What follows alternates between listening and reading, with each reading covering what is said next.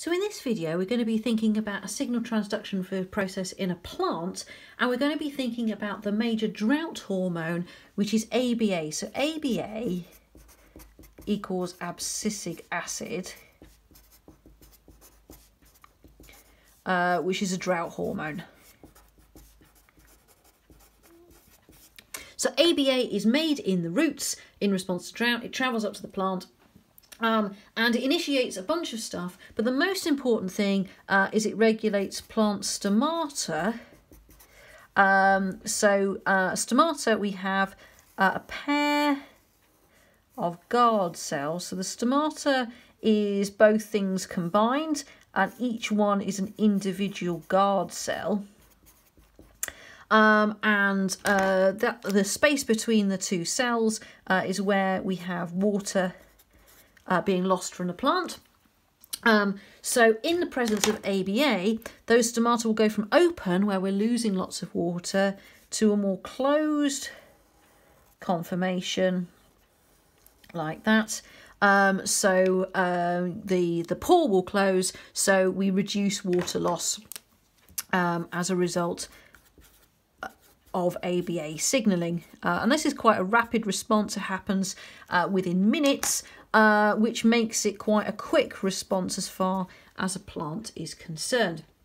And obviously that's a really important physiological parameter for a plant. So quite a lot of effort has gone into understanding how ABA signalling and stomatal closure works. So um, the ABA receptor was only relatively recently uh, identified. It took quite a long time for it to be identified. Um, so I'm going to go through uh, what we call the central signalling module for ABA. So I'm going to do that um, over here to start with, and then I'm going to think about how that relates to what's happening in the guard cell. So let's think about it to start with if we've got no ABA. So this will be in a nice, happy, healthy plant. Okay. So the ABA receptor is a protein, it's a small cytosolic protein called PYR1. Okay. Uh, which in the absence of ABA is just kind of sitting there in the cytosol. Okay. Um, but there are two other proteins that are involved. So one is a protein called a PP2C. Uh, so this is a phosphatase. So it removes phosphate groups from things and it's sometimes uh, named ABI1. Uh, you might see that name if you're reading around. Okay. So a phosphatase and then we have a third protein is called OST1 um, and that is a kinase. Uh, so kinases phosphorylate things, okay? Um, and uh, that is sometimes uh, known as a SNRK, an SNRK, okay? So, so when there's no ABA, what happens is so PYR1 is just sitting there, it's not doing anything. PP2C is inhibiting the OST1, Okay, so PP2C is active and the OST1 is inactive. And it's OST1 that would be wanting to send the signal to the rest of the cell. So with no ABA in the resting state, uh, PYR1 is not doing anything and SNRK, uh, the OST1 is inactive. So then what happens when ABA comes along? Well, ABA comes along and it binds to the Pi one, uh, which is the receptor. So Pi one is the receptor. Pi one with ABA has a really high affinity for the PP2C. So the PP2C sticks to pi 1. So the PP2C is then inactive because it's stuck to the pi 1. It can't do anything. Okay. That releases OST1, which is now active. And it can go and activate other proteins. So what it might do um, is, let's say that there's an ion channel at the plasma membrane. Um, so what the OST1 would do uh, is to activate that. So we go from inactive.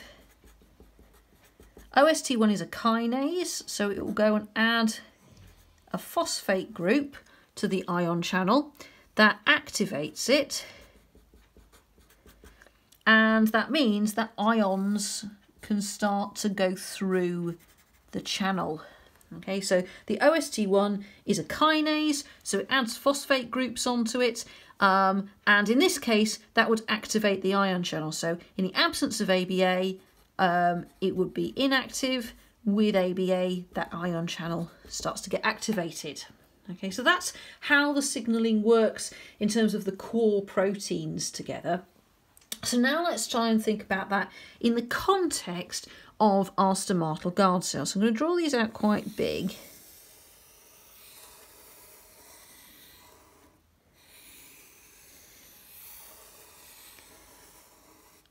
And we're going to think about two different processes, okay? So one is about opening and one is about closing. Now it's important, both of these processes are happening in both cells. It's not that one cell is doing one and one cell is doing the other, but just for making it easy to see what's going on, I'm going to draw them in separate cells. Okay, so obviously the opening process, if we're trying to close the stomata, we want to activate anything to do with closing, but we also need to inactivate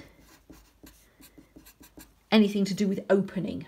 Okay, so both processes needs to happen, but they are both happening in the same cell at the same time. I'm just putting them separately so it's a little bit easier to see what's going on. Okay, so how does a guard cell open and close? Well, fundamentally, it's about ion movement. Okay, so if we think about opening a guard cell, the way you open a guard cell is to increase its turgor pressure. So you need to have water coming into the cell. So the way that you do that is to have uh, ion transport. And we're going to meet, think about this in terms of a couple of different ions. Okay, so our first ion is potassium. Okay, so in opening, potassium comes into the cell, and chloride also comes into the cell. Okay, so if you have both of those ions coming into the cell, then you will end up with water going into the cell. Okay? Um, and that will give you overall high turgor pressure so the cell is really full of water it's bursting so that means that it, the, the whole pore will open okay and uh, so we have potassium chloride coming into the cell the water follows actually we just need to be mindful of the chloride and the potassium will actually then go into the vacuole as will the water. So most of this will actually accumulate in the vacuole. Um, so, but we know less about the transporters at the vacuole. So I'm going to leave those for the moment. We're just going to think about the transporters at the plasma membrane. Okay, but don't forget that all of this stuff is going into the vacuole. Okay. So these processes we need to inhibit. We need to get stop potassium coming in and we need to stop chloride coming in. But we also need to activate closure, so we need to have an efflux of potassium and we need to have an efflux of chloride. Okay, and if we activate those, then the water should follow. Again, we do need to have the same things happening at the vacuole, but I'm just not showing it for clarity, but physiologically, that's just as important. Okay, so if we're going to regulate the system, we need to switch off these ion channels, we need to close those ion channels, and we need to open these ion channels over here. Okay, so let's think about how that works. So we start off with ABA. That goes into the cell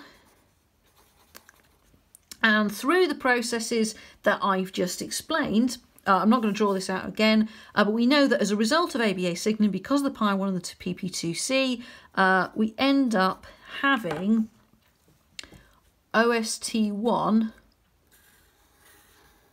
is active.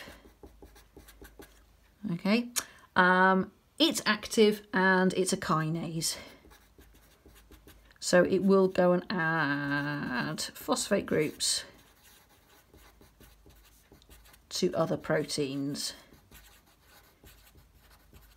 Okay, so OST1 gets activated as a result of this signalling molecule module in here, so via PYR1 and PP2C. So this stuff is happening over here, I'm just not showing it for clarity on my diagram. Okay, so OST1 is now active. So what's OST1 going to go and do? Well, one of the proteins it phosphorylates is this ion channel over here. So this chloride channel is a channel called SLAC1. It adds a phosphate group onto SLAC1 and it activates. So with the phosphate group, SLAC1 is then active. So that's active, so we're now getting rid of the chloride. Okay, so OST1 directly phosphorylates SLAC1. We open the chloride channel, out goes the chloride. If the chloride's going out, so will the water. Okay.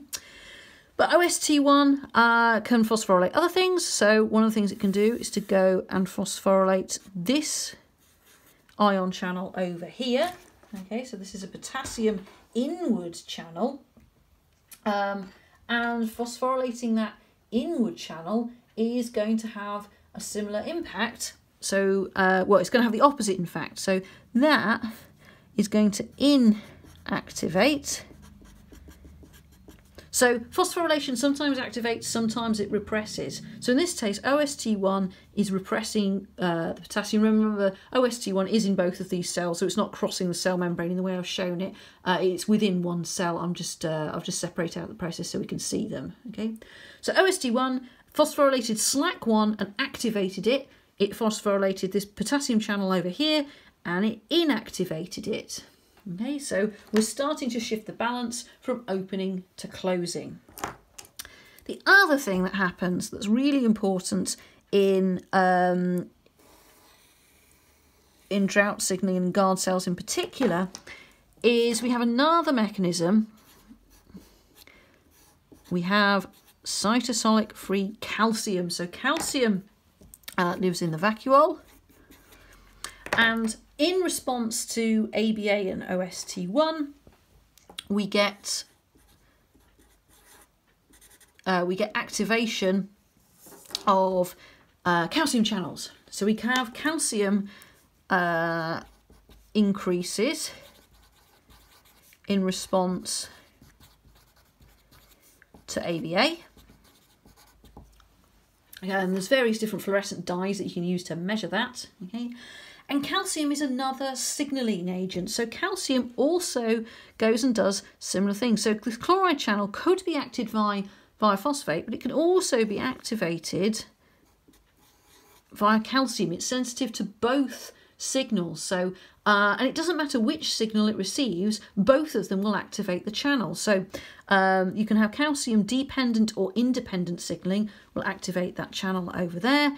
And calcium will do the same thing uh, with the potassium channel over here. So it will come and inactivate. So that potassium inward channel is also sensitive to both calcium and, phos uh, and the phosphorylation. So uh, we have a sort of parallel signalling approach. So it doesn't matter whether you go directly via OST1 or you go uh, via this calcium route. Uh, we have what we call signal convergence.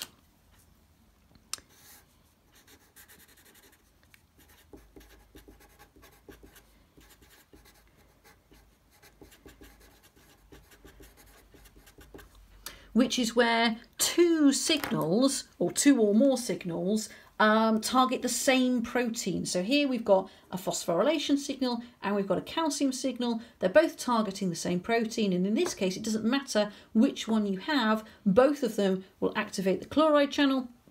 Um, and as we activate the chloride channel, we start to get chloride moving out of the cell. And the more chloride that we move out, the more water that moves out. So overall, that will close the guard cell. So uh, so the central signalling molecule, uh, so ABA doesn't directly interact with OST1, it goes via this PYR1 PP2C OST route over here. So that is happening down here. I've just not shown it all for clarity. But once we've got OST1, that can go and activate uh, the closing processes and inactivate the opening processes. And we also have some calcium in there doing the same thing for good measure.